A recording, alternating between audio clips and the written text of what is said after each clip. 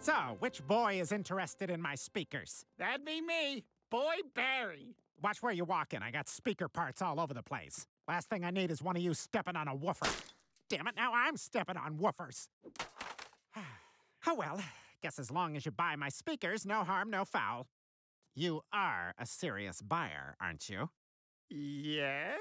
Phew, good. I don't like people wasting my time kicking tires. Ah! This is Khaleesi. She also only likes serious buyers. Khaleesi, huh? Cool. Like from Game of Thrones. Never heard of it. I'm more of a Big Bang guy myself. It's what inspired me to live in an apartment.